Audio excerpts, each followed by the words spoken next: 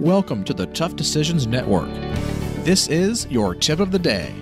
Be sure to visit toughdecisions.net to sign up for our free weekly entrepreneur email where we send you news about the latest technology for your business, inspiring quotes, and the latest entrepreneur books. That's toughdecisions.net. Before we get started, let's hear from one of our sponsors.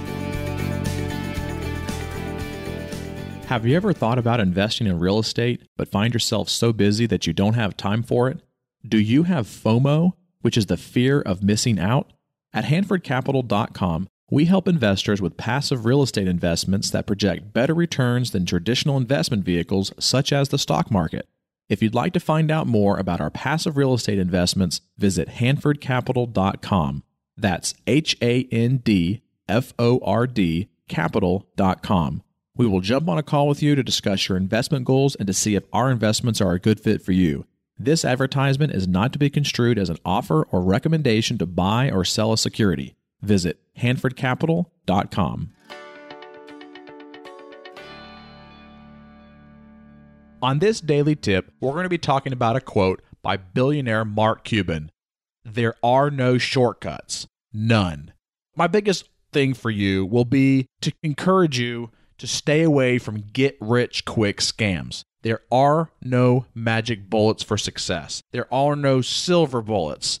You must be willing to put in hard work. Entrepreneurship involves lots of hard work.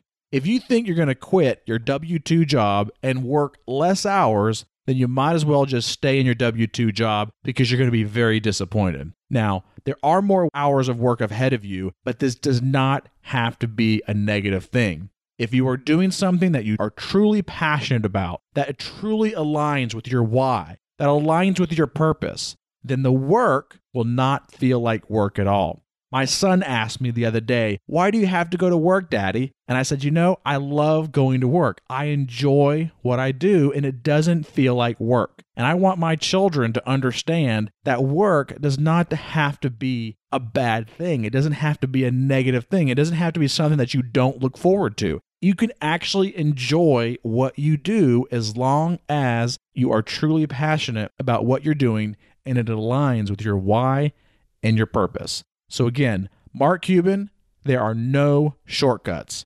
None. Thank you for listening to the Tough Decisions Network. Visit toughdecisions.net to sign up for our free weekly entrepreneur email.